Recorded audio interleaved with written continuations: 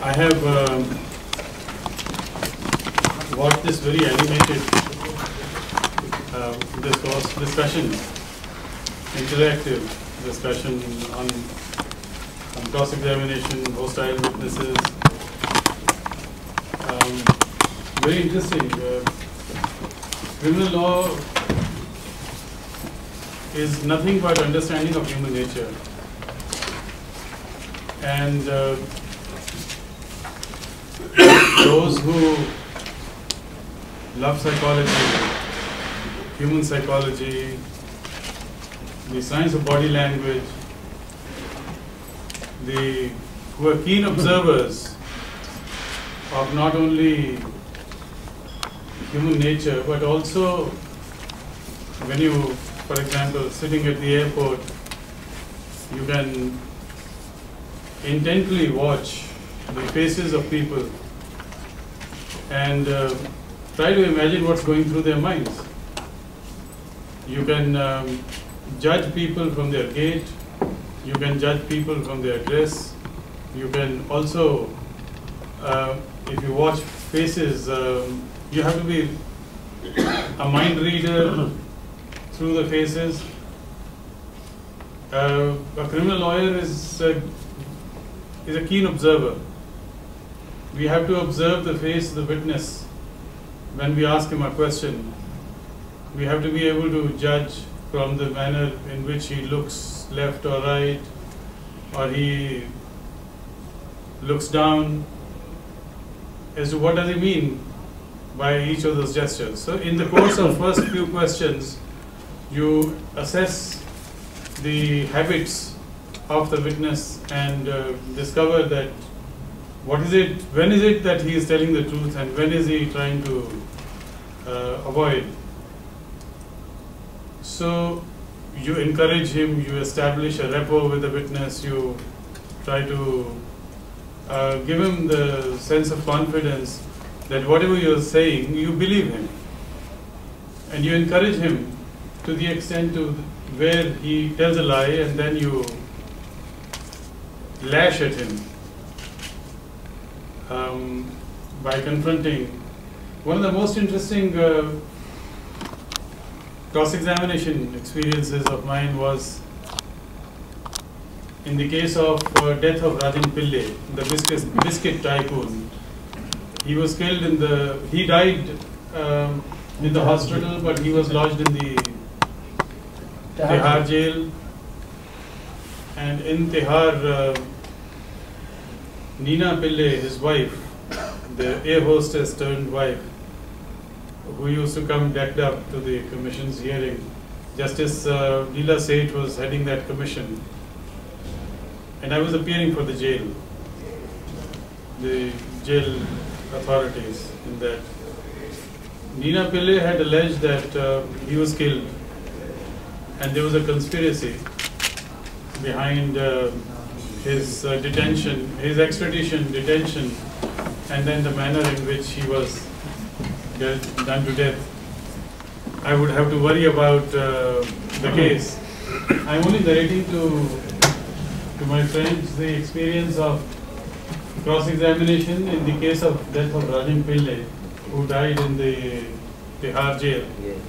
So the story that was built up by, by his wife was that uh, Rajan Pillai was extradited pursuant to a conspiracy by the government of India. Government of India was part of the conspiracy and the judge who remanded him was also part of the con conspiracy. The superintendent of jail was part of the conspiracy. The doctors in the prison deliberately prescribed him wrong, wrong medicines.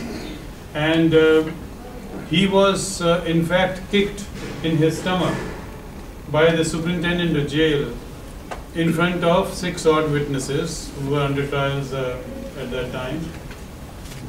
And uh, on this basis, uh, when we cross-examined uh, uh, those six inmates who were the alleged eyewitnesses to the superintendent of jail kicking him, they specified the time, the place,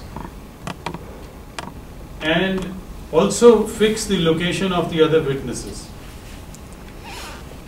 So, um, I made a request to the judge that let let us examine all the uh, all the prisoners who are witnesses to the alleged kicking.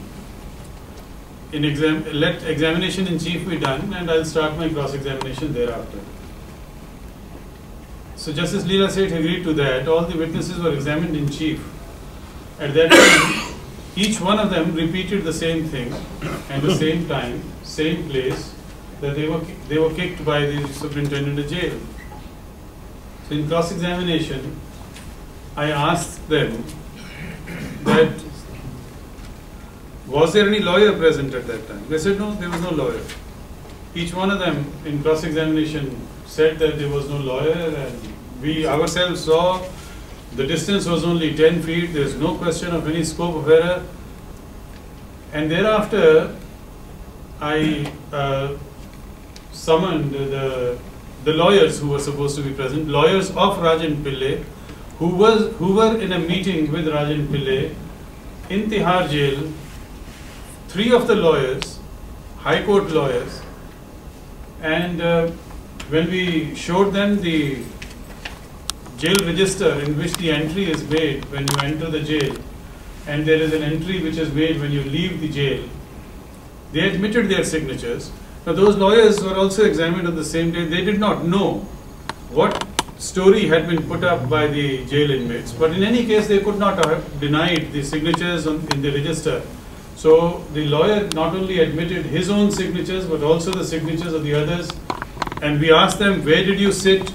And they sat actually in the in the room of the assistant uh, superintendent of jail. And it was proved that the story of kicking was false. The second point was that deliberately the jail superintendent had administered wrong medicine.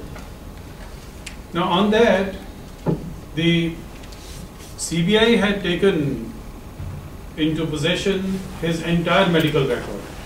He had undergone uh, a, a surgery in Apollo and one in Escorts. Apart from the treatment which he had undergone in uh, Singapore, the entire medical history was was collected by the CBI and it was examined by us in great detail. At that time, the superintendent of jail was one Mr. Singla, who was himself a doctor, a medical practitioner. Uh, he was a qualified med- medical practitioner, but at joint service. So he copiously examined the entire medical record, and uh, we were able to show that the same medicine which was prescribed by the jail doctor was also prescribed by his doctor in Singapore. Peter Goh was his name. We were able to show that the same medicine was also prescribed by the doctors at Apollo and at Escorts, but the affidavit of Peter Goh that had been filed was that all the doctors in India had prescribed wrong medicine and they had deliberately prescribed wrong medicine to be able to kill him. We were able to show from his medical history that he was suffering from cirrhosis and cirrhosis. Cirrhosis of liver, where the doctor Peter Goh himself had told him that alcohol is poison for you. You can't even have one small drink. It's, it's, it's completely prohibited, otherwise, you cannot live. And yet, when we found he was arrested from Meridien Hotel, and the bills that were collected from Meridien Hotel showed that every evening he, he had ordered two bottles of wine and he was uh, food for only one person, which means that alone he was consuming two bottles of wine. And uh, his stay had lasted four days at Meridien before he was arrested. He was arrested in the month of May, in the in the uh, in extreme hot weather, when the temperature that May were in excess of 45 degrees, and he uh, was lodged in the barrack where instead of five people, which is the norm, there were more than 30 people in the barrack and he had to sleep on the floor. The, the platforms are reserved for people who have committed more serious crimes. Because the status in the jail barrack is determined by the seriousness of the crime for which you are and under trial, for which you have been arrested. And he somehow or the other was uh, got the place uh, closer to the toilet, which would stink more. And the toilet uh, would not have water and 30 people using. You can imagine uh, the condition of a person who is used to luxury and is suddenly thrown into a barrack with 30 uh, hoodlums. And uh, he would not eat that food in the jail, he would not drink water, and uh, his condition obviously got deteriorated. There was one fan which would uh, work in that temperature, uh, in that uh, weather, would hardly be of any respite. he couldn't sleep all those days. So the story was complete build-up, uh, completely complete fabrication. We were able to, when we cross-examined Peter Goh and showed him that his own uh, prescriptions included the same medicine, and yet he had leveled this charge, which was grossly irresponsible for a medical professional of that, that standing, that the Indian doctors conspired and gave wrong medicine. He had no answer. And he became so uncomfortable. He uh, started sweating in the winter months when he was being examined. That uh, eventually, at about after about three hours of cross-examination, he said to the judge that I may be excused, I'll come back again. And of course, he, he never came back. And his testimony could not be read. I hope you don't hear this case uh, uh, on judicial side because one of the writ petitions is pending where similar allegations are still there. So that's before another bench.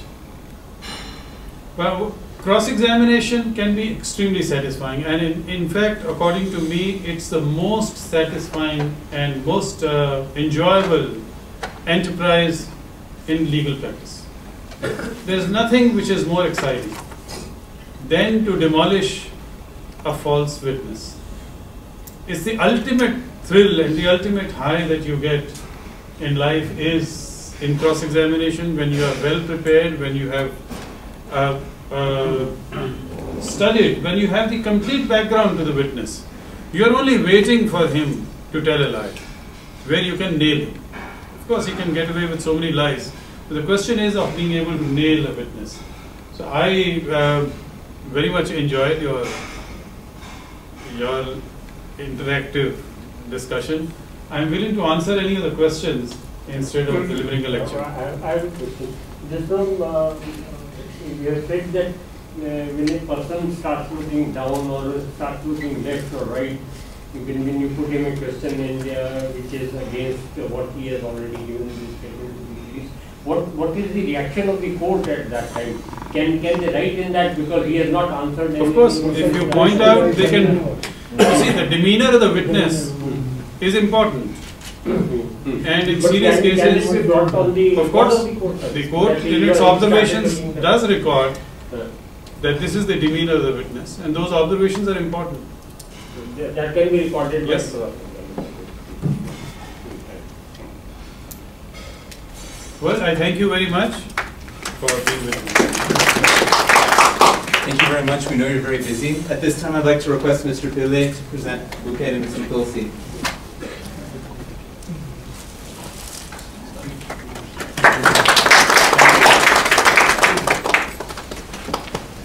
プロセス